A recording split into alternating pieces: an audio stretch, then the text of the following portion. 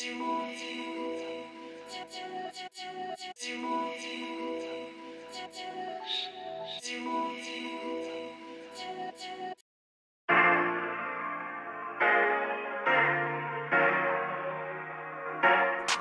to the Kinkazoid Podcast, where you get some education on your form of stimulation. With your hosts, Royal, Chase, and Trey Proper. Buckle your seatbelts because it's going to be a wild ride. Let's get kinky. Welcome, welcome, welcome. Greetings and salutations to another wonderful episode of Kinkazoid. It's your boy Trey Proper. We got a great show lined up for you. Ladies, if you will, introduce yourselves. Hey, what's up, y'all? It's your girl Royal. No tagline necessary. Just recognize she's a queen. What's going on, you guys? It's your girl Chase C. Hayes. Doesn't matter how you say it, long as that flavor stays in your mouth. All right, all right, all right. Let's go ahead and get right into things. And uh damn, go away, go away, go away. let's get right into things with our toy of the week. Now, this one comes special ordered from our Discord. Actually, shout out to Lillian Desu. She posted a clip of a video of the what do you call it? Uh, another podcast, another sex podcast. Um, they were called uh, Hard or Soft. Sorry, apologize about that. It's actually staring at me in my notes right now. And one of the hosts of the show made a mention of how he goes on dates and he always wears something interesting to catch, to basically a conversation starter. So he wear, he wears a particular necklace. Okay. And this necklace is uh, when the lady, of course, asks him about it and asks him to describe what he has on. He's like, yes, it's actually, he turns it on and it's actually a vibrator. It's a vibrating wand. And it's very, uh, it's called, it's called the, uh, the Vesper. So I, I was, I was on my ears on that one. I was like, wait a minute. Okay, that that that works. That that actually I like it. So I don't know if he has the pictures up yet, but it's uh very clandestine. You can't really tell what it is unless you know what it is. Mhm. Um, it's it's unisex, so it's not something that's too effeminate or uh masculine, and it use what you it, use it for what you needed to do, if you know what I mean. Right. Um, so I'm definitely thinking about investing in one of these just to add it to my collection. It's only going for sixty nine dollars, and yeah. So what do you ladies think about that as a toy? I actually think it's kind of dope. Like it's really like discreet. So Mhm. I like that. That's the word I was looking for. Discreet. Yeah, it's really discreet. And um it's it's probably something that I would buy, honestly. I think after we when we had the conversation, you know, off of the show, I, I Mhm. went to the lake because I was like, this this is something that I would consider getting, you know, and probably would use on date night or something like that. So, you know, it's it, it it's, it's a yes for me. There you go. Stainless steel comes in three different colors: rose gold, silver, and gold. Uh, Chase, what about you? Just gotta make sure you have some wipes, um, some sanitation wipes, um, or good scent wipes. Some type of wipe gotta be on hand because you can't be walking around smelling like putty cat um all day until you done, you know, vibrated somebody's daughter, um, or somebody's Rated son. somebody's daughter. Um, you can't just be walking around like Bussy and Putty Cat. You feel what I'm saying? So you can't just have that around your neck. Uh, so just make sure you got some sanitary wipes, uh, and some smell good wipes from your local uh, sex store and or uh, Walmart. And um, yeah, other than that, I think this is a really great toy. You know, I always got a, I always got the blicky on hand. You know what I'm saying? Got it in the console of my car. Uh, so you always got to make sure you're ready whenever you can get ready. And Mhm. yeah, you know, cause I'm, you know, cause I'm out here, I'm single, you know, so my whole should be real. So it's like I gotta get mine before I go attempt to let somebody's son get the, try to think, try to think they can get one out of me, you know. So on the way there, skirt, skirt, you know what I'm saying. So I think this necklace would be would come in handy, you know. I gotta ask, who is not cleaning up after themselves these days? It's not necessarily cleaning up after themselves. It's just after a certain amount of time. Like it's like you use like okay, so we all have a scent, right?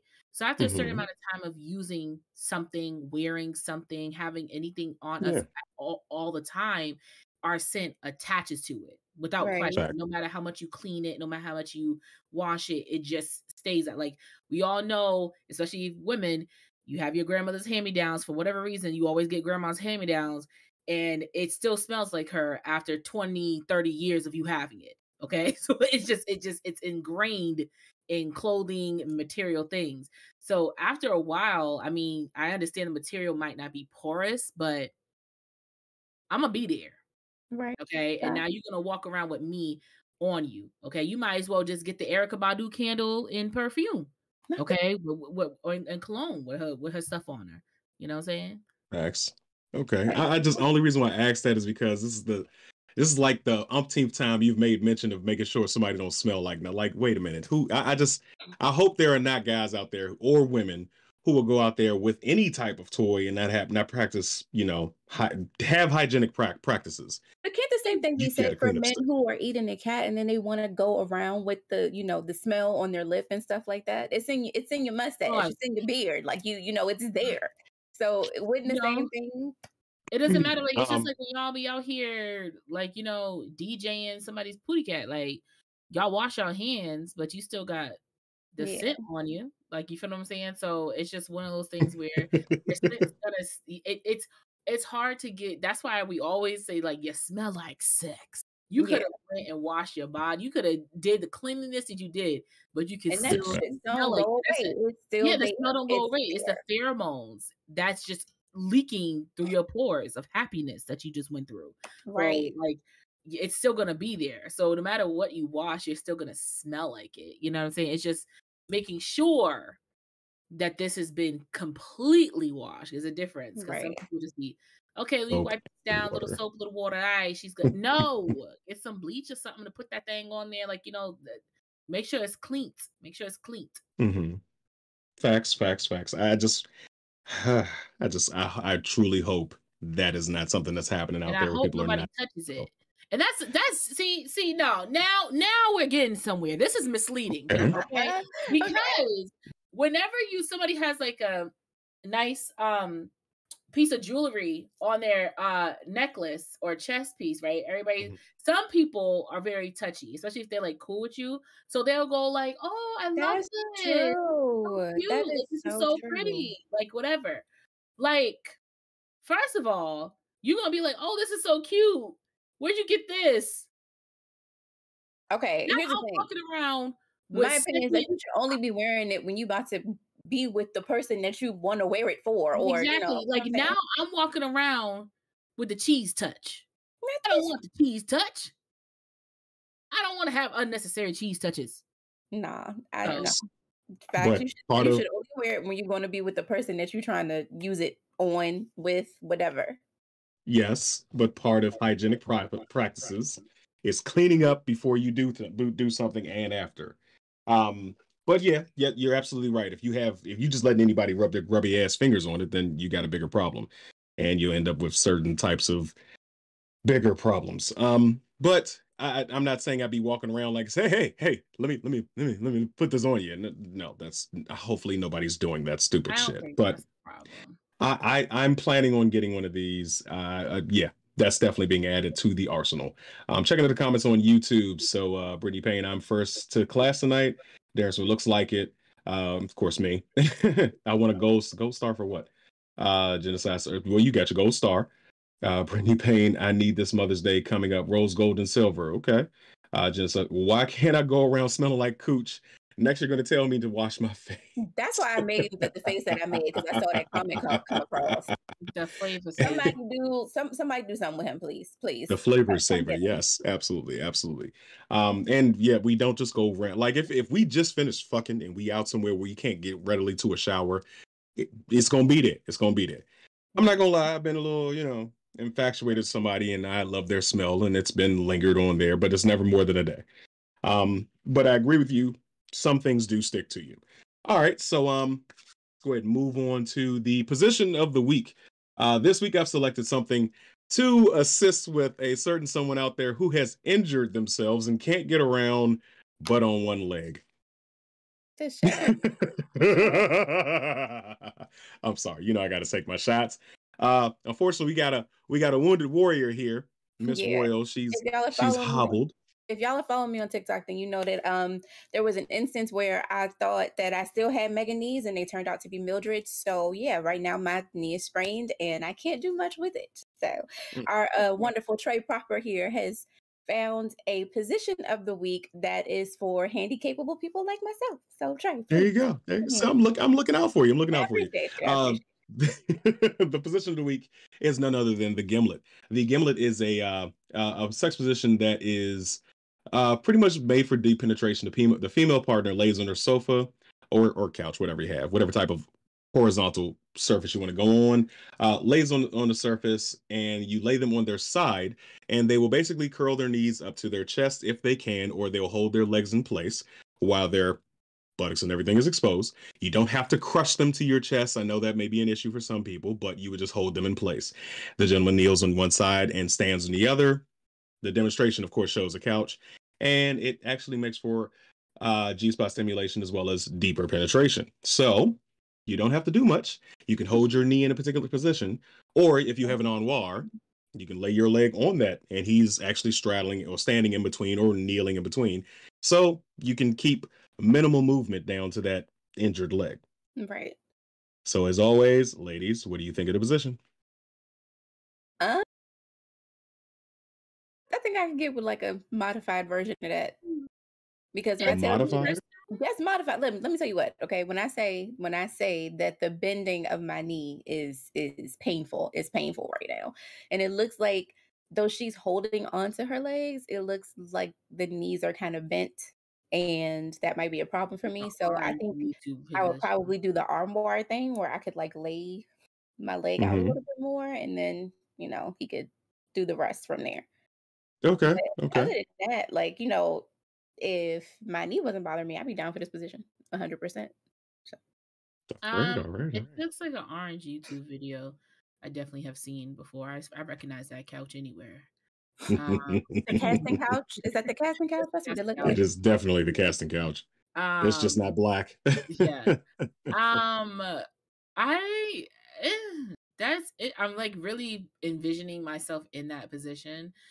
I don't. I wouldn't be able to do it, but I definitely would have like maybe if there was an ottoman like Mhm. nearby, I could definitely Yeah. put my legs across the ottoman and like swivel them that way or move them Mm. that across that way. Or if it was like kind of like a day bed, maybe doing that, or even just on the bed in general. I mean, I wouldn't have the help of the backing of the the what is it called? The back of the sofa. Mhm. Um, but I, I mean, yeah, this this position definitely could work. I think it would just be more of, especially if you're on a couch, maybe an ottoman, or just letting your legs hang, or you would have to do the whole one leg up on the shoulder. I think would be a more probable Mhm. position, just because there's still that stability, if that makes sense. That makes sense. Okay. Yeah.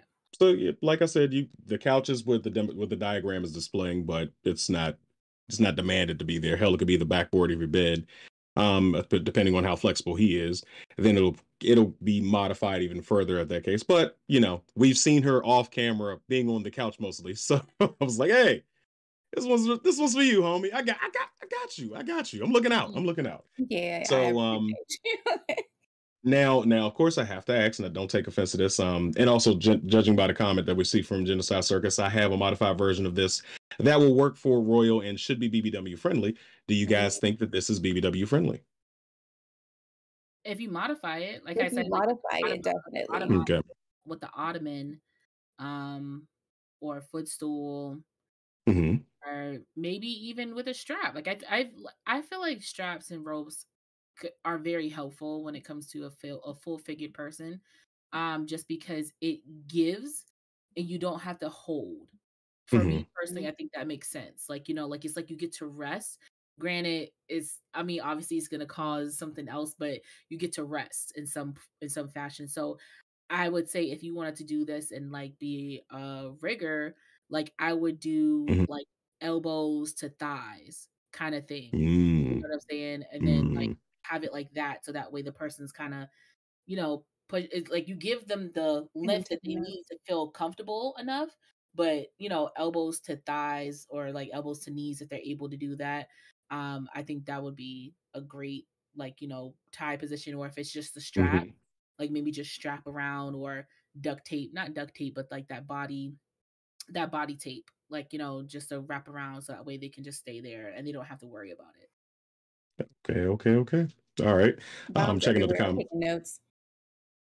Huh? I said Doms everywhere are taking notes. Good job, Chase. yeah, yeah. I, I like I like that call sign. Elbow to elbow knees, elbow to thighs. Okay, let's go. Um, But I for mean, hand- and these and then they're handcuff wrists to ankles. Oh, checking out the comments on YouTube. Jimmy Gaff, uh, just bend me over the arm and call it a night. I overthink, Oh but this right here, that. I got nothing. I The mean, yeah, arm that's that's. woo, But if you can't put pressure on that knee, you know, you kind of have to. Right. Anyway, No, that's the point. So if you have obviously two ends always come on Mhm. the couch. So if you can't put much pressure on your knee, all you have to do is take that knee and lift it up on the sofa. You're putting all your weight on the other knee, on the other leg. so So you're like standing on one leg. so you're like this basically, and you're leaning over the arm of the chair. So you're gripping the arm of the chair. So that's also taking a lot of the weight off of your lower half. So all you're using is your leg is to balance, and he's doing his thing. Your whole balance is in the upper part of your body. Your legs don't really have anything to do with it at that point, because then after a while he's really getting into it. He gonna lift you up in the air, and then there's there's nothing there's nothing that you got to worry about. Wheelbarrow. All right. Okay. Much. so um also we have an announcement that we want to make. So we have uh we've been doing this for almost a year, ladies. It's getting coming coming close to that time. So It's coming close. because we have I'm sorry. It's coming close. Yeah. Um, because we have such a loyal audience, we want to give back to you guys for constantly showing up here week to week, um, liking, sharing, joining the Discord, keeping the conversations going, and putting up with me and my toxic my toxicity. Um, yeah, so we want to give back. reward for that. Shoot. Anyway, I like don't you. make me break them out. Don't make me do it. I like. Um, you so we want to do a one year anniversary giveaway. Um, we're we're workshopping it right now in the backseat, so we're not exactly sure how we're gonna give it away or how we're gonna do the raffle. Mhm. Probably gonna put everybody's names into a hat and pull it out. Not not work that part out yet, but it's coming. So we're gonna do a seventy five dollar gift card to a sex shop or uh, uh online, maybe even we can hit up Irene the Passion Queen to see if they got gift cards. Get a little percentage off or whatever. Hey, Whatever. yeah, see what can happen. So Right. um definitely stay tuned for that. We will drop the full announcement in the Discord when it is ready to go, but it will be it'll be around the time of our 100 I mean, oof, yes. Future speaking 100, but our 1 year anniversary episode. Right. All right. Okay, so let's get a little let's get a little let's get a little warmed up in the show. Let's get a little hot in here. All right. So um first topic of the night mainstream media. Okay, so I had the wonderful idea to talk about uh sex scenes in movies. And I as a young man have seen a lot of movies and I've seen a lot of different sex scenes in movies and I was just sitting there thinking, damn, how many times have I been aroused by an actual, you know, fake sex in a movie? And of course, I wanted to bring that question to you guys here. I, I thought about it so much, I even extended the the the the concept to my other show members, Blurs and Whiskey, and I asked them what their favorite sex scene was. Well, the next question was, what sex scene in your past has aroused you? So we are primary, so we're gonna go first. Okay. Um, my choice, and don't judge me on this. Don't judge me on this. Don't fucking judge me on this. My choice for when I was a little bit younger and I was watching a movie and it got me thinking and feeling a certain type of way. Soul Food. Soul Food, the sex scene where Faith and what's her name's husband was in the room and they started talking and he picks her up, he puts her on the glass and they start getting in. Yes, it's adultery. Yes, it's cheating. No, it's not because it was cheating. It's just the whole motion. I wasn't supposed to be watching this movie at the age I was. I really wasn't. I don't even know how old I was, but all I kept thinking at that point was like, I got to start putting bitches on walls. I need to get a penthouse. It was 90 something. It was something. But I definitely was having having some thoughts, if you know what I'm saying, in the theater. Okay. um yeah, so um hey, how you going, Boss Designs? So uh yeah, that's my choice for the one that got me aroused when I was younger. Um, ladies, if you will, present us with your choices. she hate me. The movie with Oh, Anthony Mackie and uh, Yes, that's one of my favorite movies of all time. of all, every When she walks into that room and he picks her up and it's like, yeah, let's go. And that was the one. That's the one. Now, don't get me wrong. Like every sex scene with Kerry Washington, that was. Y'all know me. You know I like both, so it's don't, just I don't- I don't know about all her sex scenes. Kerry Washington has Not some. the one with, not the. Mm, I say not the one with her and her girlfriend, but it was another one. Like when she first found out that she was into women and they were going at it. Oh, they were going at it. Yeah. That Absolutely. one, that, that one was good, but the one between her and Anthony Mackie, that was my favorite scene, and that Mhm. was the one that got me a little, In the paper. bothered because you know it was I just like wonder what happened to Fatima. I haven't seen her in movies in a while. mm, but I know it was like it was really raw. It was passionate. You know, all of that Mhm. animosity that was pent up between them Yes. stuff it all came out in that scene. It Yes. was everything. It was everything. That's a good one. Mhm. All right. Uh Jays. Um, it is. I had I had a difficult. Decision. We're doing the one when we were younger, right? Not like our favorite run, right? No, our favorite one. Mm, We're our favorite favorite one. one right now. Okay. Um, my favorite one is from the movie After Sex with uh Mila Kunis and Zoe Sal- girl's name? Saldana. Saldana.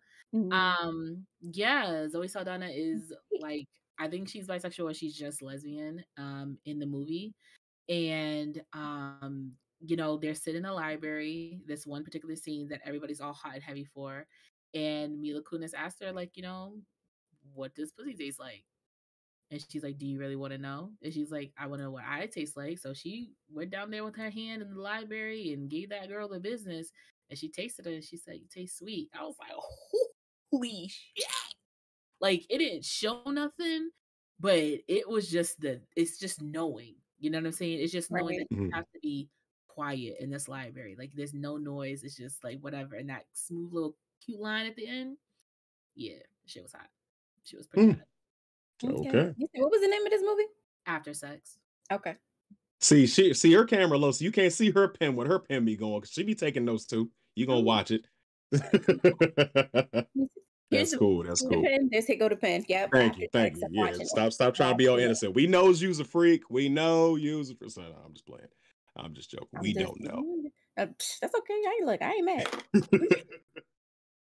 All right, and you guys in the comments definitely feel free to drop some of your favorites while that goes on. Um, actually, let since I mentioned the comments, let's go over the comments here.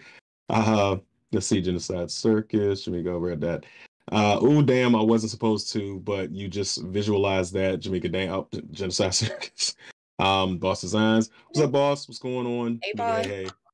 Uh, she's loving the new hair, Chase. Yeah, she looking good. She got her, she got her Beyonce going on. All right. Um, the crazy one. You know, I was talking to someone about this the other day. Why is it in sex scenes women always have perfect breasts? This shit is so unrealistic, but I don't have a favorite sex scene. I'm sorry to hear that, sir. Um, yeah, don't know what to tell you. And Genocide Circus, the modification is sex position 476, but allows her to fully lie down on her sides. You can take the other leg and bend it at, at a at a sitting position um, in front of you. This allows you full access to the rest of her foreplay. Okay. Good Hmm. notes. Good notes. All right. So I did make mention that the cast of Blurs and Whiskey, I, I talked to them in behind the scenes, and of course, this is this is very it's comedic to me. Um, I'm gonna go in order of the show. Big Herb, Weekend Herb, fan of the sh- friend of the show, he says Monsters Ball with Halle Berry and Billy Bob Thornton was the Yes. scene. Feel good. That makes me, that make me feel good. You want me to- You make me feel good. Yeah, Whatever. Yeah. I mentioned Uh, that. that that was big, but but I just I, I- the whole movie. The last thing I'm thinking about when I'm watching that movie is arousal. Okay, because it's like she just lost her son in a horrific way. Billy Bob is a known racist, and you, uh, like I I couldn't get into it. All right, going down the list. Uh, Mr. Patty Cam himself went with Basic Instinct. I'm assuming he didn't go into detail because he was actually working on something at the moment when he told me, but I'm assuming that he's talking about the scene before she stabs the guy with the ice pick and kills him. But she is in full on demon mode and she's riding him to the baseline. I remember that scene when I was younger. I wasn't supposed to be watching it. Shout out to my granddad, rest in peace. But he let me watch that movie. And it was similar, I feel funny type situation. Mhm. that was a very interesting scene. Boss Designs on YouTube. And Big Chuck, what's up, Chuck? Whatever scene I have consent to shoot. Really, really, Chuck? Pick pick a scene, drop it in the comments. All right, moving on down the list, we've got uh Morita. So, oh, oh yeah, I gotta I gotta mention this to you guys. So I'm gonna have to start watching Bridgerton because oh, Rich. she she just I love I love English television. I have quite an effective English accent when I want to. However, she said Bridgerton episode six, season one. They are fucking Oh, all over yes. the castle. All over Yes, the place. everywhere. Everywhere. Before we s- Be- before we started the show. outside, everywhere, everywhere. I just I gotta I gotta watch the show now. I didn't know. I thought it was all ritzy and they're just singing and Oh no, you know. fucking did I ain't know. I ain't Yeah. know. I ain't know. So now I'm gonna watch me some Bridgerton. All right. So um yeah, that was her pick. and um moving on down the list, of course, Rick is Rick. Um I'm almost afraid. Like, what You was should Rick be. pick? Jason's lyric. oh, okay. Okay. Yeah. I think I saw that somewhere else too. Somebody said that that sex scene was so they had to cut it back so much um because They it was really headed to an NC-17. Because they was really fucking. Were they really fucking? Just fucking with you. I don't know. I But that gonna was his choice. I don't think they was And- fucking. No, but they had to cut the scene down though because it was headed to an NC-17 rate and they wouldn't have been able to release it. Yeah. I don't think they Yes. was fucking. Uh I'm just I'm I'm, I'm, gonna tell you what, Monsters Ball, Halle Berry was really fucking that man. I don't care what nobody tell me. Yeah, she now Hey, she Michelle, was fucking- they was doing They it. was fucking. They was doing it. There's no way. There's no way they were not fucking. And it's a whole lot of not fucking going on in most movies, but not that one. No. Um, and honorable mention to the producer over there, uh, off camera guy. He says Omar Epps in Deja. I don't know what that from was. um from um God, what movie was that? Omar Epps and Deja. It was uh, the, girl's name. The character name was Deja, but it was Tyra Banks. Um, the one Oh. where you remember? I don't know. I can't. I cannot think of the, the name of the movie, but it was the the guy. Um, damn. Why can't I think? It was Ice Cube in it, and um, basically she got killed at the end. I, I can't. oh well, thanks for spoiling it. If nobody's seen it before, Oh my It's God. probably a very old movie. It's such- Tyra It Banks probably and is. such an old movie. It's such an old movie, and I, I can't think of the name of it, and I'm gonna have to Google it now. hey, I don't know. Um, Herb said, "Don't fucking judge me." Nigga, monsters ball. What the fuck is the matter with you? Anyway, uh, let's see. Uh, Boss Designs. That was a very interesting scene. Genocide Circus. No, I just remembered that scene from Monsters Ball two days ago, and now it's back. Blame her. Ooh. Back the mail truck. Ooh. Blame her. Jamaica says. Jamaica says poetic justice in the back of the mall, mail truck. Is that American history? It probably is American history. Sorry, I'm sorry. Go ahead. Okay. And um oh, I think it was. I yeah, American History X. Cuz they Not were both in there, History right? X. That, that nah, that was um that was what was that boy's name? No, no, no. Edward no. Norton or Ed Norton or whatever. Yeah, yeah, yeah, yeah. I'm confused. Sorry, I misspoke. And um Jamaica said po- uh, poetic justice back in the Boston Science. Uh, they were getting it in, yes. And Yes, she says. American history. Um, yeah, that that poetic that the song, all that. It's just yeah. And then she In she the unties the brain. Ooh, that you know, do I have it on my playlist? I need to add it to my playlist. I forgot. All right, cool. Um, Higher learning. Higher learning. Yes. I had to Google this in the show, but higher learning, higher learning. Okay. Yeah. Yes, yes. And um, so um, what I wanted, I did want to ask, in addition to this, what what was the first sex scene you can remember? Not necessarily one that aroused you, but what was the first one that you can subject to memory? And I'll go first. The first one I can remember as a child, unfortunately, and we didn't know what was happening. We didn't know what was going on. It was none other than Bram Stoker's Dracula, and it probably oh, has Oh, no.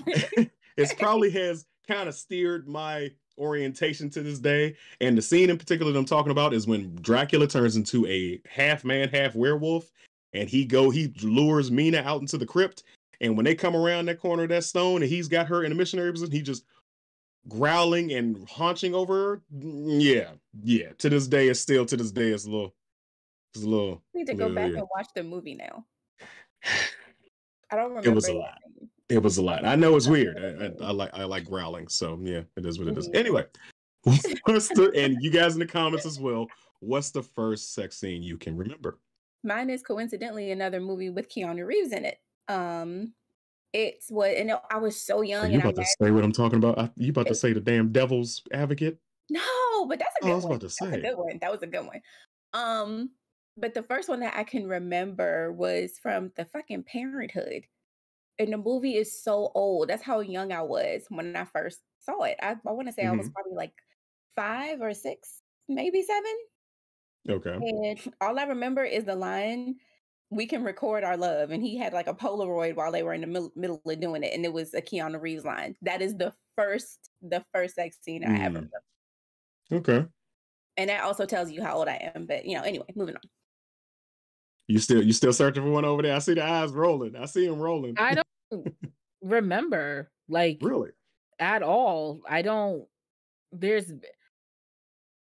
I literally have no memory of like the first time that I was visually in a room that I like had to cover my eyes for. You know what I'm saying? Like, Mm. bec- it- it was good movies, obviously, but I just, you know, I know I was watching not the most appropriate movies as a young child, but it wasn't like so bad. It was just like, you know, those heavy and hot scenes that they didn't want to see like looking at two people making out in a bed, kind of giving an insinuation of like what it was happening. Yeah. Um, but like I okay, I'll tell you this. The first thing I remember having not the permission to really watch was South Park.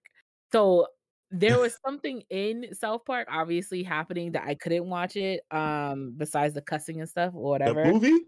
No, do you know how old I am? The movie's like just came out a few years ago. I don't No. know. No, No. the movie is the the Movie. first movie. No, no, no. They only have one movie. That's movie South like Park. 20 years old, Yeah. ain't it? It gotta be 20 years old. old. Yeah. Shut your fucking face, Uncle Fucker. That's an yeah, old movie. I'm 29, so that's why I'm saying like I I I remember the movie. It's just like South Park in itself. Um, yeah, that's the only that's the first thing that comes to my mind because I was still living in Boston itself when like you know, so that's the first thing that I have to memory of my mother being like, "Candace, turn Oh away from no, that TV." Lord, baby, don't look Like, at it was like something. It was something in South Park that obviously they had it on. They was watching it, but it was something particular that I couldn't look at. I couldn't remember what it was. But so that was my first don't look. So, but I Mhm. can't remember like what movie was my first sex scene, if that makes sense. Okay. All right. So checking out the comments. Um, let's see, going back to YouTube. Uh, American is blah blah blah. The pool scene in Showgirls. Okay. Let's see. Nicolas Cage in Bad Lieutenant. It wasn't sexy. It was just the way it went down was nuts. I I don't think I ever seen that. I don't I've Uh, seen that one. I don't think I, I don't think I've seen it. Um, Herb Bridges, Higher Learning. Higher Learning is the movie. Okay, we got that. Uh, a few of the scenes from the, from Short Bus. Nay Boogie says the color purple. The color purple. Definitely not a sexy movie. There are some sex scenes. You know Wait, what? wait, That would be the first thing I remember. Oh God, first? I think these are the first things they remember. Okay, I was about to say, I don't think this is their Holy favorite. I think this is the first. Okay. No, no, okay, no. This is the first. So, um, that, but I'm just, it just hit me like I did see that, and I did get the Lord Jesus, baby, don't look. I got that too, um, for the first two scenes, and it was like uh, the boy didn't see enough titties as it is. Just let him watch the damn movie. um, hey, Nate Boogie, what's going on? Uh, the one scene in Kids, ill. Oh, Kids! I forget. Rosario Dawson is in that. She's Oh, very young in that. It was oh my god, kids! I forgot all about kids. That was a that was a horrible movie. Um, the, the crazy one. The first one I can remember wasn't was watching Red Shoe Diaries. wow. Watching shit I have no business watching. Oh wow. Red Shoe uh, Diaries and Real Sex. Those were the two that I used to watch. as a kid. Yes, real sex was the shit. That that yeah, that definitely steered my orientations too. Um, hey, what's up, Irene? Irene, uh, uh, the the Passion Queen. Harry. We mentioned you earlier, so you're gonna go back and watch the show again. So keep, make sure you like, make a like, drop a like. Um, what's popping, good people? I uh, Boss Designs. I remember that scene from that movie. Sure, Yes, and um, maybe I remember that. Uh, Cam, yeah, I already called yours out. Cam, Basic Instinct. I think you were talking about when she was riding him before she stabbed him with the ice pick, but spoiler alert for a 25 year old movie. Uh, Jamaica Royal. I remember the pa- the Parenthood too in Parenthood when Steve Martin's wife wanted to help him relax and tried to give him head while he was driving. They ended up crashing. Mm. What? A feature word Jungle Fever. Okay. Oh, Genocide wow. Circus. Yeah. the rocking chair scene in the movie Lolita, also ill. Another honorable mention. I'm I'm live. What's up? Oh, Okay. you know what? I think my keep first movie that had any indication of sex was Eve's Bayou. Yeah. I think that was my Um, first movie of any indication of sex was Eve's Bayou. okay. Obviously, it wasn't good, um, because it was the scene where Samuel Jackson was drunk in the family room and Meagan Good Oh, Yeah. and Meagan Good came in Oh. there thinking that sitting on her father's lap a certain way or something was going to keep the him home or something like Mhm. that. Granted, nothing sexual happened, but um, it's just the mere yeah, fact he that pushed her off. she, yeah, he pushed her off because he came too. Mhm. Um, but the fact that she had to think like this is what's going to keep my father home type zone, whatever. But that was like my first like, well, this isn't appropriate. But like, Yeah. like, like, Yeah. like mental note, you know. Oof. Oof. Just uh anime ninja scroll. Really? Hubdeucer. Anime ninja scroll. Get dude, eh, you talk about the rock monster when he was uh you know what? I'm not even gonna go into it. Uh Lillian Desu, what's up? Mentioned you earlier, talked about a toy that you actually dropped in the Discord. Um, she said what we up to. We're talking about sex scenes that we were the earliest sex scene we can remember. Um hashtag camism, uh, Mr. Petty himself. Goldeneye, uh, the Goldeneye scene, uh, for me also. I hear a I bit of an echo. the scene from Goldeneye. I don't remember the scene from Goldeneye either. That was uh yeah. Or Wicked City. Oh w- no, Wicked City with the with the with the tarantula lady, and she had the oh, Google Wicked City Sir, what the hell Spider Lady. you watching? anime. anime ain't for kids. I'll say that much. Vampire Hunter D, good one, good one, good one. All right. Um, can you guys remember any? Oh, um, damn it. What was I gonna say? What was I gonna say? Shit, I forgot. Forgot. Totally forgot. Can you guys remember any other ones that come to mind? Any strange, obscure, or early, early heard on? It was probably Ninja Scroll for me too. Lillian Dessa. Wow, wow, you watched it too. Ninja Scroll was yeah. The dude, yeah. It's just Google some old anime, and it's probably gonna take you down a hentai hentai rabbit hole, but it'll be fun. You might be scarred, but you're an adult now if you're watching this channel.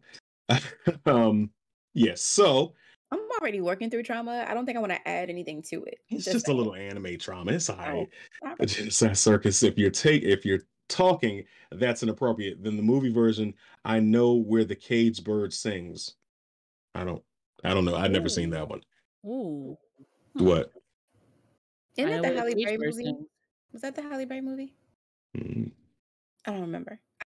Legend of Overfiend. I'm gonna have to go back and Google all Yeah, these see, movies. And We're not going to get into an anime knowledge dick measuring contest right now. Okay, so moving on, Miss Royal. I think this was your topic that you want to present. Ninja Scroll was pretty awful with its stuff. Got, got you. All right, enough with the anime. Talk about it in Discord after aftercare. Uh, also, somebody dropped the Discord I think you're talking about. This is not my topic. It's oh, it's not okay. Mhm. Chase, sorry. It's- Are we talking- the, the we- next topic? Introduce it. Introduce it. Go ahead, Okay, so I, I I'm going to do my best. All right, so the What next topic what is we talking about. That's all, and she can take Yeah. it from there. Got you. Uh, the next topic we're going to be talking about tonight is falling in love with coping mechanisms. Falling in love with coping mechanisms. Uh, yeah, that's all I got because I don't really know what the hell is. All right. So if you kind of a guys, segue off of our um, mainstream thing. Yeah, you guys know I'm like the pop culture part of the show. I watch all these shows and all that stuff and all these podcasts to get these things from. So if um you guys, if anybody watches um This Is Us or anything, um, and you've watched the most recent episode, um, which is This is Kate, you know, because it goes through the triplets or whatever, fast forwarding. Um, and I'm not gonna give a backstory to it, I'm just gonna keep it really simple. Basically, um her this woman and her husband get into a a match with each other. They basically get in an argument because he lied about saying that he can't move back home to work from home because, you know, he doesn't have a job and she finds out that the boss actually offered him a job to go back home and work and she he didn't tell her about it. Blah blah blah blah blah blah. The Mhm. point of it is is that these this couple met at a fat AA meeting basically and she told him like I don't want to date anybody who's fat. I don't want to date anybody who wants to stay fat. And he's like okay. Anyway, they ended up being together getting married any which way. All right. Um and he lost a lot of weight and in him losing weight he secretly started working out behind her back because he didn't want to make her feel bad because she's the one who really, really, really wanted to lose the weight. Uh, but he had suffered a heart attack um, within like mm. the first year, year and a half of them being together. So he secretly started working out behind her back and he slimmed down a lot, like okay. a lot, slimmed down, right? So, um, anyways, so so with that, she basically had imagined for that weekend because they have two kids. One of the the oldest kid is um is blind, and so they have a lot of stress. And so he put together a whole weekend in San Francisco. They're from LA for her to do stuff. She's like, I just want to chill with you, whatever. She dreamed of her old husband the whole entire time. The whole entire time. The big, huge, froppy, like oh the old like, version of him. the old version of him the old version of him. she dreamed about she imagined him and was talking to him the entire time she's with her husband. She's talking to her so dude had husband. to wear a fat suit in that jump? Huh? He had to wear like a fat suit to pretend like he used to be? Yeah well he he originally for the character originally was wearing a fat shoot a fat shoot a fat shoot fat a suit. fat suit, okay fat suit um for the show. He was bigger though, but he did lose weight naturally in the show. Um, but he did wear it, whatever. So he had to put on his old get up, basically. Okay. Um, and it was the big the typical fat dude. Like, you know, okay. he looks sloppy, but he uses his jokes. We loved over as here. like we loved like or bigger or just a bigger person thing. Like, you know, they use their jokes, uh, they make fun of themselves um mm-hmm. to put up blockers and walls and self-deprecation you know, and they're out loud and their, their personality matches their size and they're just the good old guy that you keep around because they're just so good, right? Right. You're starting and, to hit a little close to home right now, uh-huh yeah. So, anyways, so um, in that, she was like, I miss him. I miss the one who was always here, making me laugh, enjoying my presence, not making me feel like I'm smaller than him. Like I miss that guy.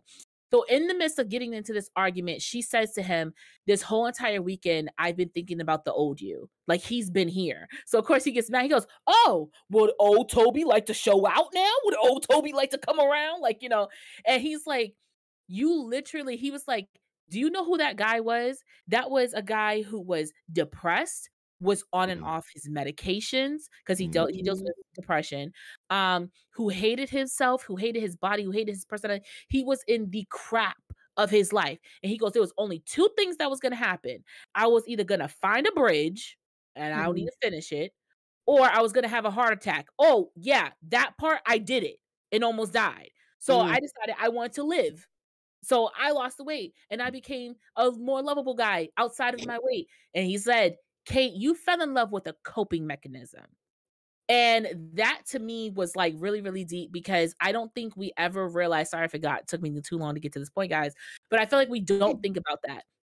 Like when it get, comes to being with a partner, what is it that we fell in love with this person that might be different now that we're envisioning the old version of them.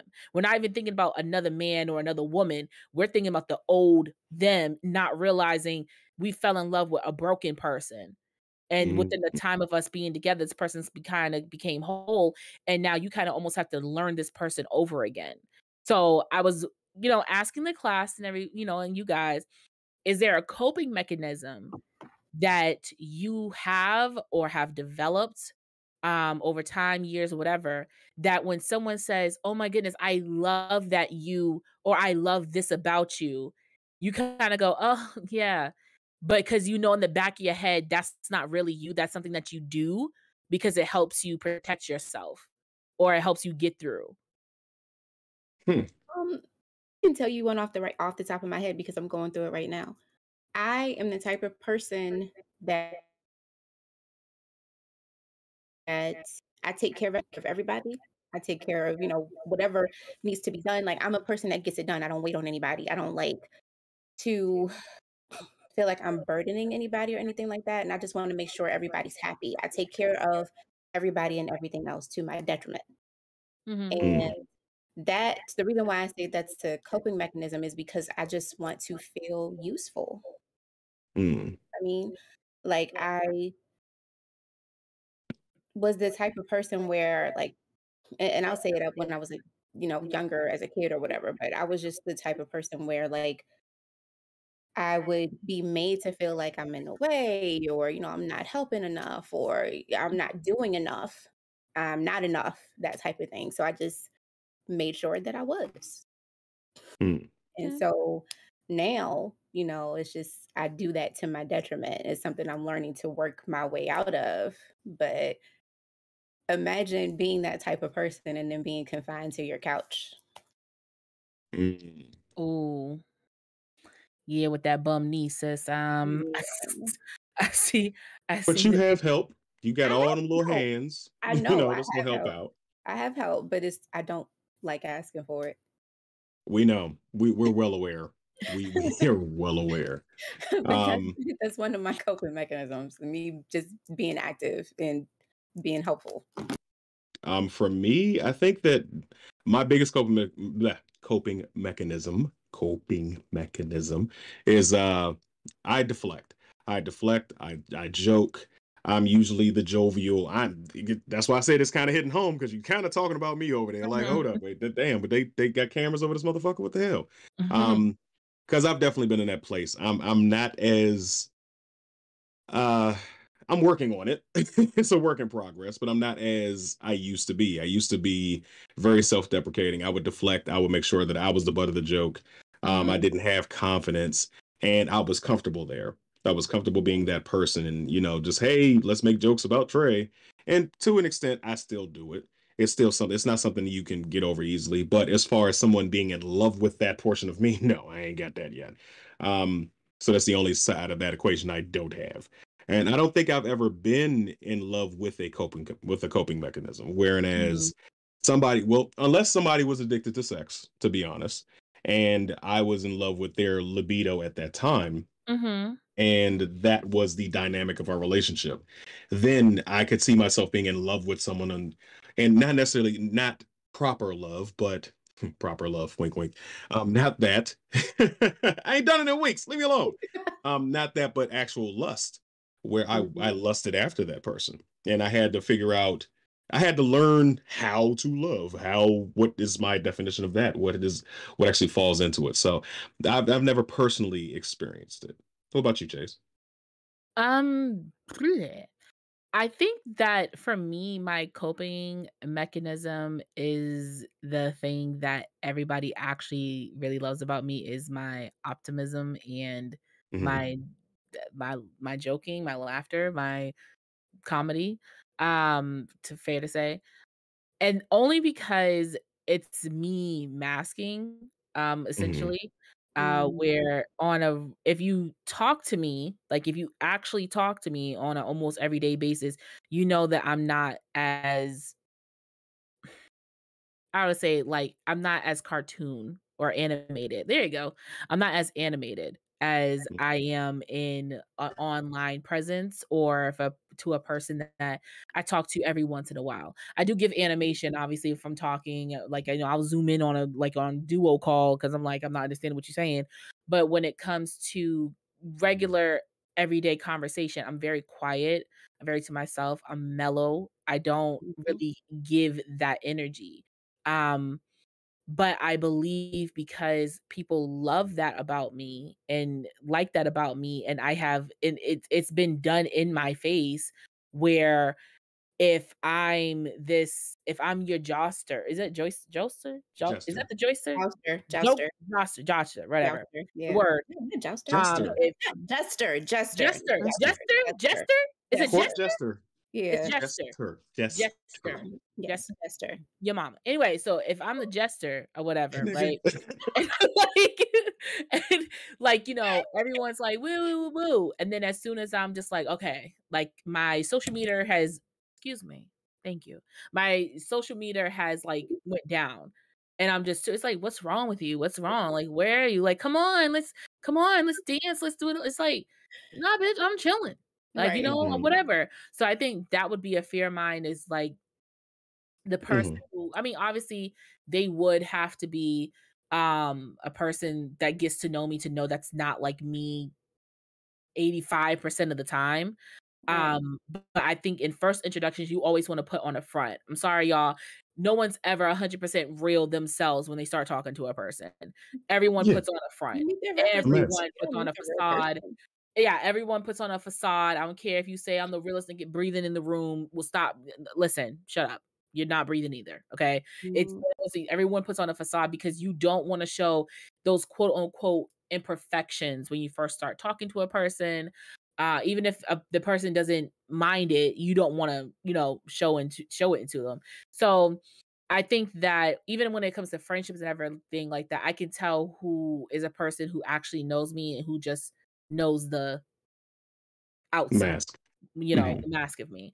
Uh, so that is definitely my coping mechanism. Like other people say that I, ah, what is it? I self sabotage a lot. Mhm. Um, so that Mhm. way it's basically I'm gonna get I'm gonna get myself before you get me.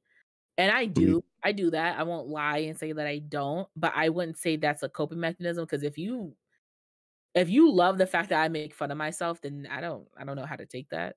but but um but yeah, I think me just being this outwardly loud and I hate saying loud, but just loud character. Um, I think a person would lo- want to be a part of me more than anything. Like, you know, like I'm sure like Trey or like people go, Oh my goodness, I love you. I would love to be like friends with you in real life or like hang out with you in real life or whatever may have you like But Chase, we are real friends. What are you talking about? What? Using you as an ex- you know what? Mm. Yeah. Um, so like, you know, um, and say I would love to do this in real life, whatever. I tell them, bro, you do not want to be friends with me. Like I'm telling you right now, like what you think you're getting is not what I am, and you're gonna be disappointed. And I'd rather you just stay in your corner because this you're not gonna get the real me. And then because when you do, you're gonna be like, well, what a bitch, and is. like and is. But She's not. yeah, so she's she's a of wanted sweetheart. She's that's why I kind of wanted to. Um, I am. No, I really am. I really am nice. It's just you know some people just aren't used to my I mean, dark humor. but everybody, everybody is going. You, everybody has a limit. Everybody has that point where you cross someone and you find out that other side. Everybody has two faces. Everybody has a mask. So I, I don't think I don't think I've never been on your bad side in reality, as far as I know, unless you've been really wearing two masks, Let me tell you, which is sometimes your ass within need possibility. whooping. I'm gonna tell you that right now. Um, who you, who you, You, me. owl, you. yes, Tootsie Trey. roll liquor, yeah. Sometimes you need a damn whooping. Okay. Uh, Who gonna whoop me? Real quick, Genocide Circus says if it wasn't a big screen film, a lot of these classic black culture books from elementary school had a small corresponding movie. Uh, Lillian said there's room to mistake a coping mechanism that appears to be a positive character trait right up front and come to understand it as toxic. Um, Licia, I believe that says Licia 10 said, as an empath, I used to be a people pleaser and use That's what food and use food and sex sometimes at the same time, not getting eating pizza with a back shot. That's my dream. That is my dream. Um, anyway, sometimes at the same time, sometimes at the same time to cope with others' strong emotions. Y'all never thought about like, yo, oh man, I could get a back shot and eat pizza right at the same time. Nah, I'm Anyway, not. I can't focus on shoot. Never mind. Uh, Anyway, listen, I I just feel like that'd be a really good time. That's all I'm. I'm going to fuck around and choke, and not in the fun way. So okay. Well, I mean, yeah, Audible. that is true. Audible. Audible. What foods are acceptable during sex and what foods are not acceptable during I feel sex? like Is pizza one-handed things are acceptable? very acceptable. One-handed pizza thing. is acceptable. I feel like Pizza bitch, is acceptable. That's a one-handed thing. It's nice and soft, and there's no bones. I was gonna say wings because I love eating wings, but there's bones in there, and you might If die. you go from eating some buffalo wings to working on somebody's, no, you know how hot that is. Hell no. wings. First of all, it doesn't have to. It doesn't have to be buffalo. Thank you very much. But pizza, maybe French fries. Ooh, French fries would be good. Or maybe Sorry. like nuggets. Maybe like chicken tender. Like you know what I'm saying? Like maybe those Sweet- boneless, boneless wings. would Sweet and sour sauce down somebody. Anyway, Some I'm sorry. I've wings. just Um. Anyway, derailed that whole uh, topic with that. I was about to say full exposure, but you know the only thing that I've eaten while getting back shots is um. so uh yeah. Anyway, oh, not moving on. you lick. She ain't as innocent as she as y'all thought she is. Now is she? Um, Jamika said, for me, I'd have to say that I'm continuously. Dang, why was y'all writing when I'm reading? Okay, for me, I'd have to say that I'm continuously trying to prove myself to others. Not sure if it's a coping mechanism, but you know, shrugs. Uh, because to be to to be honest, I suffer from imposter syndrome it, it said TBT, and I was like, Throwback Thursday. Um, I suffer from imposter syndrome, and I'm scared of allowing myself to actually be myself. Understandable, very Stop understandable. Be yourself. Stop Um, it. Be yourself. Genocide circus said soup is not acceptable. Soup is not acceptable. It's not acceptable. It is You very for- not acceptable. both Oh, of ice y'all. cream is acceptable. I like Yes, I ice cream is. Might be ice cream. acceptable. Like ice cream. Fruit, Ice cream, syrup, fruit. Fruit's a good one. fruit, Fruit's fruit, Yeah. good. fruit, fruit Yeah. roll up. Um, Lisa Fruit said fruit is, is acceptable during sex. Yes. Um, Genocide Circus said donuts on Donuts on the dick. Do you guys remember that game when you was kids or whatever like that? They would take the donut and string it up or whatever, and you would have to like try to eat the donut, like you What the know, off the string. No. What? No. wait, wait, wait, wait. No. I have creme brulee before. Creme Oh, wait a minute. Was that a was that a That joke? Was that a joke? Wait, Oh, before as Toasty in before or Oh, girl, Throwback Thursday. Um, yeah. just like uh us talking about food is remembering the sex scene from Hot Shots. Damn, that was sexy. No, that's uh, don't be a menace to society while drinking juice in the hood. oh dear Uh, God. fool. The hot sauce. The hot No. sauce on the toes though. Don't no, not the hot dog. That's the baby's lunch. Yeah. Let me your house. I mean, your No, kids' but, lunch. like, okay, before we get off this topic, just on a serious note, it is possible, and, and I guess it's a question I wanted to ask you guys. What what's your what's your next move? Yeah. If you fall in, if you fall in love with somebody with a coping mech that you know their coping mechanism, if you find out that you know the person that you thought this person was Mhm. isn't this person. No, because Um, I think my my issue, and particularly with that scene, is she took it in and understood. Like they both in that scene, they both had. I don't know if you guys watched the scene that I sent you, but they both had valid points in Mhm. The relationship. She was like, "You lied to me about being able to come closer to home," and he's like, "You literally have envisioned an older version of me that was about to off themselves had I not met you." You know, Mhm. kind of thing. So it's like it's it's difficult because she still wanted to be right and just excuse me once again she still wanted to be right and just like you know in herself but it's kind of those things where you have to really step back and look at like what are you gonna do now um spoiler alert they ain't together no more. Anyway but the the point is it's just like what do you do with that? Because i think it would be hard if I fell in love with a coping mechan- mechanism, I'm a type of person where I find little things that aren't that significant to a person the best thing that I love about them. Like the best thing about like somebody who does like a little fake little snort laugh when something's not like too funny, but it's just a tiny bit funny, but it just it just it makes them like do that a little bit or like just uh someone who does like a lot of side eyeing or whatever. Like it's just little stuff that just makes me giggle and I fall in love with those things. So if I knew it was one of those like, oh well, I actually give you a side eye when we're joking about stuff because I don't know if you're being serious or not, and I'm scared. So I I try to make it funny to see if you're being serious.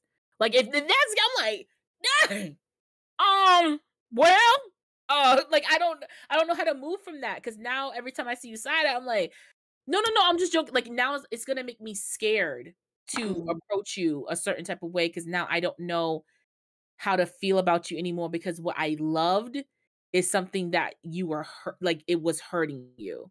If that makes sense. So yeah, I don't know what I don't know. I don't know. It makes sense. What about you, Mr. Proper? honestly, I'm not sure. I don't think I, I've I've become a lot more aware of uh of, of a lot of things. So, like you said, if it's something that is they're doing it to hurt themselves, I'm not going to fall in love with it. Um, I can't think. I can't honestly can't think besides a.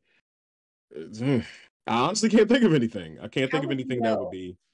That's the How question. would I know? How would you know if this is something that's hurting them? because usually with coping mechanisms, it's somebody like Chase said, masking who they Mhm. actually are. And Well, you know, you don't know if this is something that's hurting them or not because this is how they portray themselves to people. yeah. I mean, uh, I'm I see, and that's where I'm going to have to dip a little bit into my faith bucket and hope that we have developed a level of communication between each Mhm. other where she would feel comfortable enough to tell me what she's feeling, how she's feeling. I I pray, dear hashtag dear dear, dear future wife. I hope that you will tell me what's going on so that I can either try to help or you know whatever I can in that situation. Because honestly, I don't know. I, I I wouldn't I wouldn't be able to know unless they told me. And sometimes that wouldn't happen until it's too late. And I hope that she would recognize that if it becomes a too late situation, it doesn't just hurt you, it hurts me too, because you're a part of me. Right. So again, I'm, I'm not sure how I would recognize it, but I can Yeah, only I put faith on it. I So don't know. speaking of somebody Go ahead. Sorry. No, No, but I was just I was just gonna say that I'm sorry. Dang it, girl. I was just quickly I was quickly gonna just insert that what Trey was saying as like I hope they would communicate that sometimes they don't know it. hmm And I think that's the problem. Like I don't think in that scene he knew that he like that she was in love with this version of him so much that it basically made who he is now unattractive. Hmm Like Mhm. and so I don't think it's going to be something that you can communicate unfortunately until it becomes an issue. That was, Right. that was pretty much it. So speaking to somebody who is going through this Mhm. currently, Okay. um, it is difficult. I will say that I'll say this much because it is essentially falling in love with somebody you love all over again. Mhm. And it's constant communication because, you know, you don't realize that there were parts of you that were not healed. And if the both of you are going through trying to heal yourselves, and then you recognize that there were things that you were doing to yourself, trying to make other people happy, Mhm. And then you you you figure out okay this is something that i need to stop and then you start to change your behavior and then your partner sees okay well you're not doing the same thing that you used to do what's the problem and there's a disconnect And Mhm. like you said trey there has to be constant communication Mhm. Yeah. because if there is if you're not talking if you're not talking and you're not getting through whatever disagreements that you guys are coming you know coming to to it is going to it'll tear your relationship apart Yeah. Hell yeah. Mhm. yeah Hell it'll yeah. completely tear it apart. So if you have, if you're like the ideal situation is that you get into a relationship and you guys are both healed, you guys are working on whatever trauma that you may have experienced experienced in your life, and you're starting together at that point. That's ideal. But if Mm. you are in a relationship with somebody and you've been in it for a long time and you guys are deciding to heal at a point where you've been together for years, and in my situation, Mhm. I'm married. So Mhm. you've been together for years and you say, okay, I'm going to heal. And then you're working on yourself separately, it can do stuff to your union. Mhm. So, yeah, just if you find yourself in that situation, communication is the best thing. And I mean on both both sides, not just yours, not just theirs, but making sure you're constantly talking. I know Chase, you said it before, doing check-in check-ins is a big deal.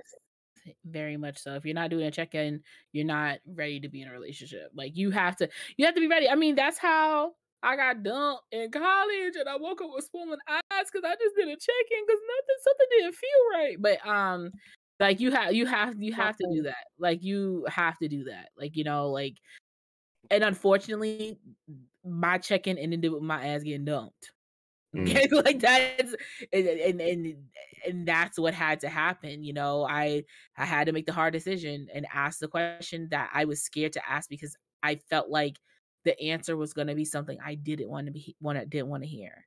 Because e- even if even if the person had said nothing, I'm cool. I know you're lying, and that probably would have hurt. I mean, I don't know, being dumped hurt a lot, but I think that would even hurt, like you know, the same level of like I know you're lying and you're not telling me the truth for whatever reason I don't know. You know, so a partner can feel it. They can feel that pull. They can feel that we're not as close as we used to be.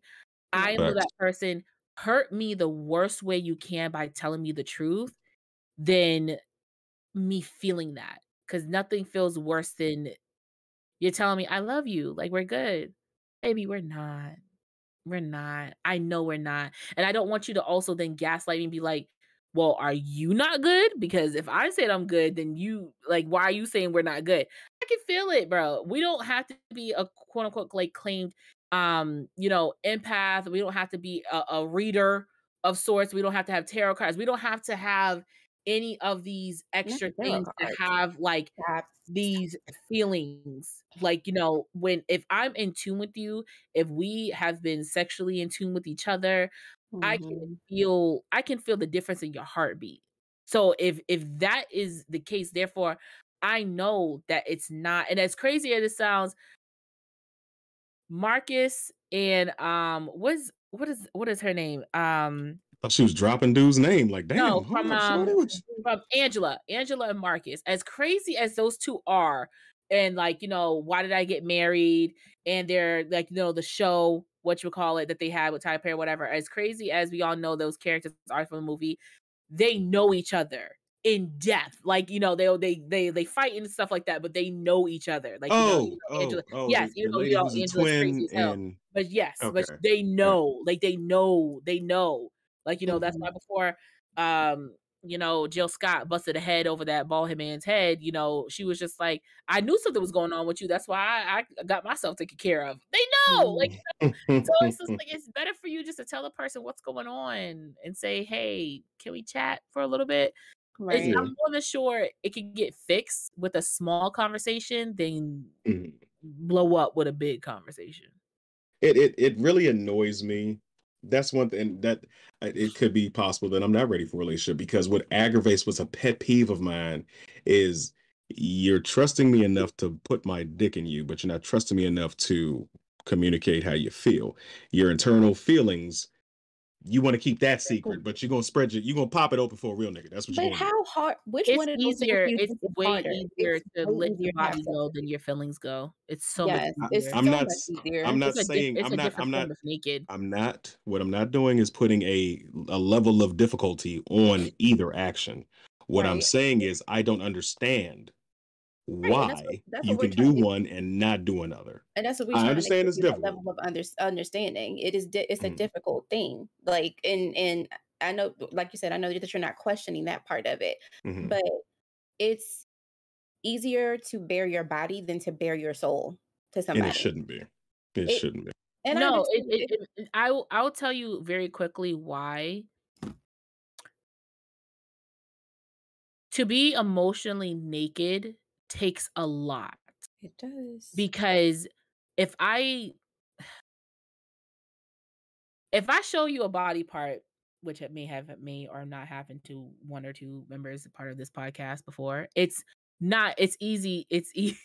Where is she? She's over there. There we go. Okay. I show my titties. I don't care. Anyway, it's they left me out of the loop. I ain't to see no titties. yeah, but it's easy to do that because to me, it's skin. It's mm-hmm. nothing to me. For me, it's nothing, right? So it it's mm-hmm. like it is whatever, right? Or mm-hmm. and then or it like having sex with a person is just like once you get over that little awkward phase of like, hey, you're naked and I'm naked. All right, now we bumping fupas together. It's uh, I'm basing my dissatisfaction off of you. Me personally, right. I'm basing your my satisfaction off of you. If you're having a good time, then I'm having a good time. Everything's great and, and gander in the world, right? I don't have to think about me during a, a sex scene. I don't have to. I don't have to think about me. I just. I mm-hmm. just have to think about: Am I throwing my ass back enough? or no, am I giving enough throat? I'm just thinking about actions. I don't, I don't care about anything else that's going on. I'm not thinking about my emotions or whatever. I'm just making sure that you get yours, I get mine. We're calling it a day. Mm-hmm. When it comes to my emotions, I have to be very realistic with myself. So it's not about the other person who I'm talking to. It's about me. I have to examine myself. And it is very scary to really talk to yourself and really have a self examination. You know, I mean, if you think about it, how many dudes are out there holding their dicks and coughing for themselves? Not a lot. How many women are actually doing self breast examinations like they're supposed to do in the shower, like every week or every two, six weeks or so? Not a lot. Because you're scared to find something. You're scared to feel something. If you have unprotected sex with a person, or um, if you uh, are about to be pregnant, or like, you know, you didn't study that much, or you failed a test, you're scared to see these results because you know there could be failure or a big surprise that you didn't want to happen to happen. It's the same thing with yourself. You are scared to find this stuff out about yourself and to sit down and have a conversation from Candace to Grace, if you guys don't know that's my middle name, that's hard. If you want so, to tell everybody. yeah. So it's it's one of I don't care. Everybody knows my name. So it's one of those things where it's harder to talk to yourself and then translate the conversation you had with yourself to another person. That's a whole different language. Right. Mm. So now that you've f- figured out self language and to pass that feeling on to another, it's difficult. Hence why that's why a lot of people are scared to go to therapy because mm-hmm. they've realized they're going to have to open up a whole world of themselves to themselves that they never had to face and it's terrifying so yeah people who's actually gone out uh, there yes, and done it very much you. so so yeah i can give you coochie like it's nobody's business because guess what i don't got to talk to you to fuck and that's that's you know like, what i what i realized yeah. what i realized during this conversation is that i we're on we I'm on one side of the fence, you're on another side of the fence. So, um, what I'm saying is that something sex to me is as sacred as letting somebody into my emotional space, and in in a lot of ways, for me, it's one and the same. Yeah. So I'm not I'm not giving up the physical without giving up the emotional. Mm-hmm. They're intertwined. That's why I don't do one night stands. But I think we spent we yeah we yeah just gonna go yeah. into these comments. Yeah. Um, I had to go back to this one. Afisha Roy, you, uh, she she said used to. She used creme brulee. I was cracking up at that. I actually took a second and looked on the side and was like, I need to find out if I can can I use creme brulee. Yeah, get a little hand torch. That's good. And go for it. Hey, let's crack the top with some sugar. and then the the pun of the night, Lenny and Desu, creme brulee sounds lit. I'm just I said no, it, it was hot salt, it was hot shots. Oh, oh Hot Shots, and with with uh Tom, not Tom Cruise, the other white boy, uh Tiger's Blood. God, what the nope. hell is his name? You don't remember his name? Mm-mm. He was he was on Two and a Half Men. And, oh, uh, oh, Charlie, Charlie, Charlie Sheen. Sheen. Yes. Hot Shot. Oh, now it's coming back to me. That movie. Okay, I'm I'm really mad at all this talk about being being about bare one's soul and true feelings reminded me of an old book series from elementary school. Okay. All right. I guess drop a link. And Jamaica F, it's a trauma response for some. It's a level of vulnerability that was given and either exploited or not reciprocated. So, I, and I get you. I, I I understand, but I just think it, it's wrong to do so. But moving on. Last topic for tonight. All right. Uh higher relationship treatment. So many times we talked about these situations where people are you know, you get you a boyfriend and you only give me boyfriend level or sneaky link level or blah blah blah blah. Higher relationship. Uh, I'm gonna kill him. I'm gonna kill him. Higher relationship treatment will be wife treatment, husband treatment. Um, in my opinion, do you guys agree? Yeah. Yeah. Okay. Um. So yeah. That, that, yeah.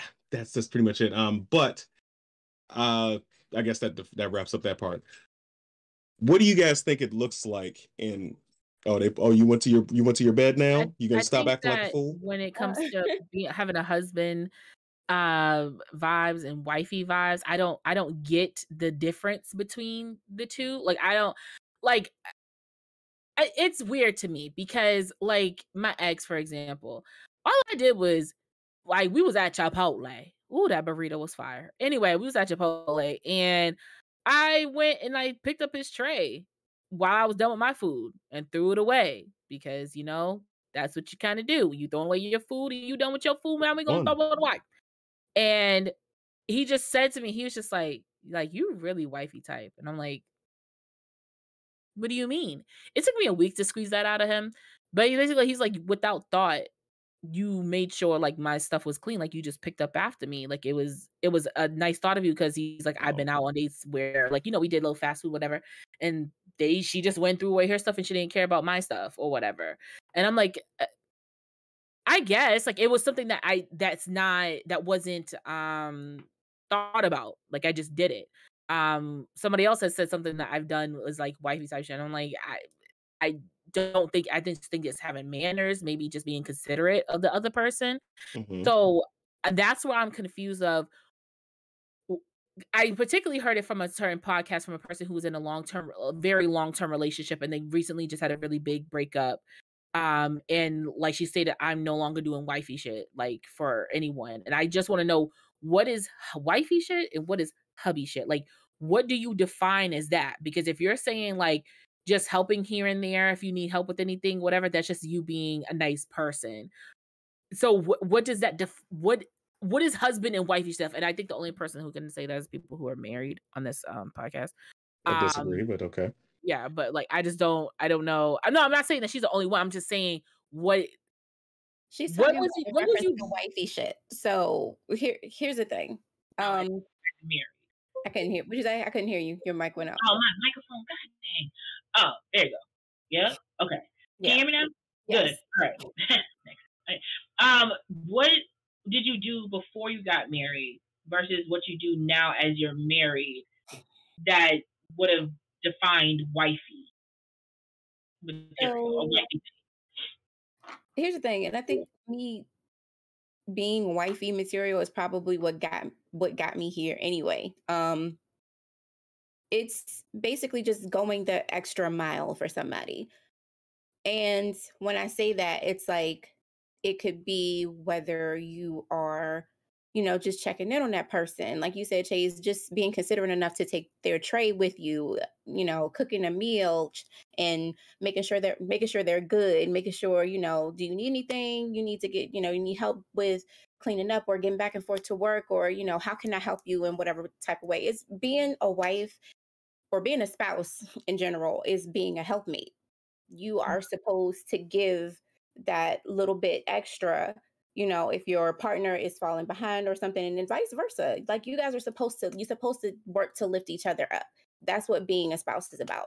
So Mhm. when it comes to being wifey material, it's just doing that little bit of extra to show that you are caring or nurturing and you really do care about, you know, this person that you're trying to be with. And um honestly, I feel like when I was dating Hubducer, I was still doing the same thing. Like I was just being me, you know, and like you said, it's just it was just me thinking I'm a nice person. But now that I'm older, I Mhm. know that there's a difference in what I did, you know, versus what people actually consider to be like just girlfriend treatment.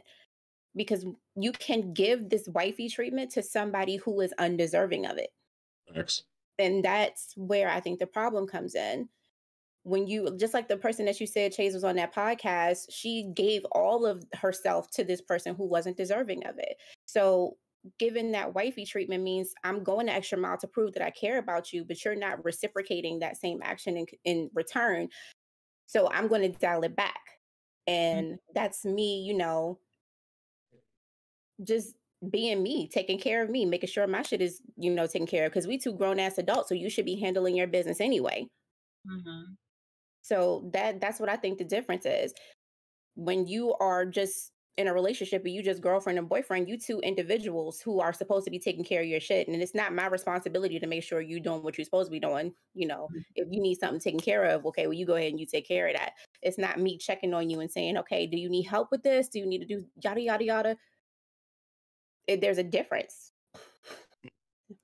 So I think that uh, for the, I agree with you in some cases, uh, but I think that in order to become a wife, first off, first off, I fucking hate the term wifey or hubby or hus whatever the fuck. I just call it what the fuck it is. Your boyfriend, girlfriend till you're fucking married. Yes, I'm gonna sound like an old fuddy duddy. I don't give a fuck. I ain't, I'm not calling you my wifey. I'm not doing that shit. However, when it comes to terms of breaking it down of what it is, you have to show your value in order to get to the next level. To get that, you got to start giving that treatment. The lady who says she's not doing anymore, that's stupid in my opinion. Don't say you're not going to do it anymore. Just don't do it for that type of individual. When somebody shows they're no longer worthy of your treatment, you leave that individual alone. Don't just stop doing it because now every dude that listens to that and hears that's like, oh, you're not going to do the shit I need you to do or I don't even know what it is that you're that you're not willing to do anymore because you were vague on it, not intentionally, but you gave a vague statement of I'm not going to do it anymore. So I, I, now I don't even want to deal with that. Some people will literally disqualify you off some shit like that. Hmm. That they're humans are fickle creatures, but you have to perform certain dude. I can't I can't come to you as a man trying to date you or in a relationship, whatever have you, and not do my duties. I can't. She's looking for reciprocity. That's fine. She can get it. She shouldn't have given given that service to the dude that was not giving it back. Um, but um, totally derailed my train of thought. You got to perform your duties. You need to show that you're capable of being a husband or a wife, in my opinion, to get to that level. Like like Royal said, she was doing things that made it so that he said, Hey, I want to marry you. I'm not saying that's the only reason why he chose to marry her, but I'm saying he she did perform certain things that made it so that she was valued in that way. So everybody, male and female, not turn into a battle thing. We all need to do our duties and show that we are worthy of getting to that next level. So, yeah, that's how it looks to me. Yeah, but she said the same thing like Rose said. Like she's like, I'm just gonna keep everything very bare minimum, which I think. And that's stupid to me. That's dumb. I don't think that's dumb. I, I think, think after you've been in a relationship for let's just say seven years, and there was talks, conversations, plans of being solely each other's person and like you know getting a house together and having these fundamental plans and you know pre-naming kids and whatever may have you and time invested with other friends and families and not even just themselves. It's like i became close with your parents. You became close with my siblings. Like you know all this time that's been spent with this person um and then you know you've been giving this treatment to this person because you're like okay well maybe around like year four year three or two or whatever it's like you started giving more and understanding more and everything like that and then you're mm. the mm-hmm. more years you're spending with this person okay we're definitely doing this we're we're having these continuous conversations there's no one's confused this is what's happening and mm-hmm. then something happens i don't know if, if the person cheats I don't know if you cheat. I don't know if like you both just need time away. Someone has a better job opportunity somewhere. Something happened. And but obviously this term something not the greatest happened because obviously you have some type of resentment or whatever. I, um, but like please let me tag you. When you please. go into when you when I finish, when you go into uh, the next relationship, you're going to make sure that your eyes are a little more open. Like you know what I'm saying? You gotta let me let me make sure. That's fair. I don't got these rose-colored glasses going on here because the last time everything was mm-hmm. gravy. We hit year seven, and look at me now. You know, so it's always just being cautionary. Obviously, you don't want to take your baggage from the last relationship you had and bring it to that relationship and make everybody sorry about it. But you do want to make sure that you are aware and are taking your time into giving into this person so that way it doesn't feel like you're doing the same mistake all over again. I feel like that's the point. You, you're learning from your mistakes, you know? Okay. That's and that's fair. I didn't say I disagree with any of that. What I'm saying is that and what's going on in the comments right now as far as not doing your wife not not wifely duties i'm misspeaking there not showing your value as a potential wife is is poor is a poor decision. Sorry if I'm triggering people. It's a poor decision. I'm sorry. I'm sorry. I was saying, what do you think? What do you think that value is? How do you think she's supposed to show her value as it, so that if we, if we, get in, if we get down into the nitty gritty of what values this will be here all night but no, they, every every hold up hold up every individual every individual has their own what they deem is valuable for them men and women, both sides. But if you're saying I'm not, if you make a blanket statement like that, I'm not doing wifey stuff, period. I'm not doing it no more because of somebody in your past has done something to end that relationship.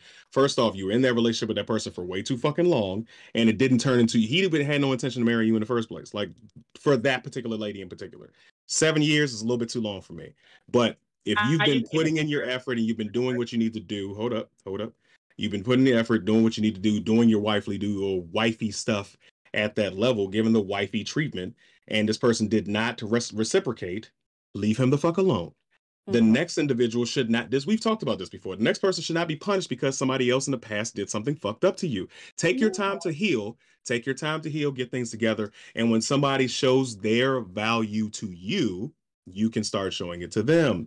And when you're in the dating process, you can start growing together and showing your value. I'm not saying I'm not saying that you I just went on a date with this dude and or a lady just going on a date with me and she should be showing me everything she's capable of right up front because I'm I'm not doing that. I'm not saying that. I'm just saying don't make blanket statements like that.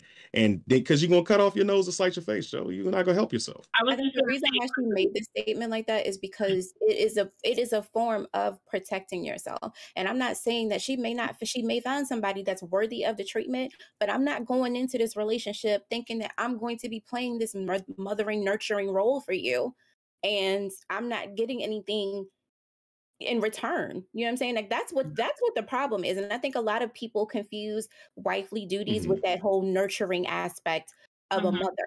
Get You know what I I mean? didn't, Like we're just- supposed we didn't say anything about nurturing. We just said she just said she was not doing wifely stuff that's anymore. what- That's the thing. When you talk about wifely duties, they're talking about that nurturing. nurturing part of you, like that thing that Mhm. wants to make you go an extra mile to make sure the person that you're with is taken care of. That's the nurturing part of a woman, and that's the part that we give to to to our partners when we want to make sure that they're good. And it could be something as small as let me grab your tray and let me take it for you. You know Yeah. saying? Let me make sure that you're okay. How can I help you? You know what I'm saying? That's that nurturing part of us. And if we get shitted on when we give that part to somebody, Leave them the fuck alone. you want to exactly, but that's what I'm saying. It makes you want to protect that part of you. So that's why you make statements like, I'm not doing this for nobody else until you get to the point where you are with somebody where y'all got the same type of values. He's, you know what I'm saying, doing what he's supposed to be doing and handling his business, and you're doing the same. You Mhm. see those good qualities in him, then that's when you can let go of that nurturing side of you to maybe want to do a little little extra. You know what I'm saying? When he's when he's proving that he may be somebody worthy of that. That's what I think she's saying. I'm Yeah. not doing this for nobody else because Yeah. she wants to protect herself. So Ye- when talking about um the value of a potential husband, like Trey said, it's based off of your own perspective of what you would want to see in a person. And like Jimmy can say, but if a Yeah. partner's not giving back, then why exhaust your efforts? And this is when we say, then leave. If like, you know, if I'm if I'm asking you, please just effort. If I could have effort. If Mhm. I have to completely ask you over and over again for effort into the relationship, then then there's no relationship. I'm Yeah, just I'm I agree. it all on, on myself. So then when we're talking about like you know it's, it's it's not punishment because it's not a person's right. You don't have a right to another person's time and labor and affection. It's not punishment if you're not being um deprived. So if you were a person that if you're hold on, because uh, you're talking about Lillian Desu's comment on YouTube, and I wanted to respond back to them. I'm sorry to cut you off. I got to jump in here because we only got like two minutes left. But I'm I'm saying you you are going to punish somebody in the future. You're making that person with you're withholding from that person. I'm not saying you owe that person anything. I'm not saying that you have to give that person your, your that part of yourself. I've specifically said when that person own, uh, earns earns your trust, earns your loyalty, earns your wifey duties, whatever the fuck you want to call it. When they earn it, then you can start doing that. But don't sit there and make a blank. In my opinion, just talking from my talking shooting from the hip on my side. Don't make blanket statements like that, ladies, because you're gonna turn dudes away from you. They're gonna look at you and be like, "Oh, she ain't doing that shit. I don't want to deal with her. Why I got it? Why would I pick you if you already saying I'm still I'm you're waving your flag in the air saying I'm still hurt from my past relationship, so I ain't doing none of that shit for none of you niggas. That's It's how we hear it. That's how it's perceived. That whatsoever. It's literally just putting it out there I'm saying don't. as I'm saying don't put it out there. someone who says that we have to vet and someone who says we have to put our precedents and we have to put our our our things out there that says this is what we're doing, this is what we will accept, this is what we will not accept. I'm putting that out there from jump gate. This is something I will accept. This is something that I will not accept. If you're not mm-hmm. able to handle that, then then you're not a person that I need to be speaking to. You're not a person that I need to be engaging with. Because if we're not, if you're not gonna take heed to what I'm putting out there, then you need not to deal with me. But we can talk about that in the Discord. In the Discord. please join the uh, Discord. I just put the link uh, in in the the Discord. comment section. So if you're not joined to our Discord, please click Like that and join our Discord. We would really appreciate it. It'd be jumping and pumping all day long, and we take Titty Tuesdays very, very seriously there. Uh, you can follow me on TikTok at Chayes Inc. C H A Y E S I N C. You can also follow me on Instagram at Candy Taste Sweet. Um, I have a plethora of different shows and everything. If you don't know by now, then look at my schedule. I don't know what to say. Um, but, um, but yeah, uh, Saturdays at 8 p.m. Black Girls React. Sundays 1 to 3 on the radio at Spark FM. And you guys already know I'm always here every Sunday night, 8.30 p.m. Eastern Standard Time with Trey Proper and Royal on the Keep It podcast. Yeah, you guys can find me on social media uh, as Royal Rain, R O Y 4 L R 4 Y N E on IG and Twitter. And you can find me on TikTok at Royal underscore KP. It's your boy Trey Proper everywhere. Get the damn Discord. Like the video on your way out. We'll see you over there. Peace. Bye, guys. Please like the video. 寂寂。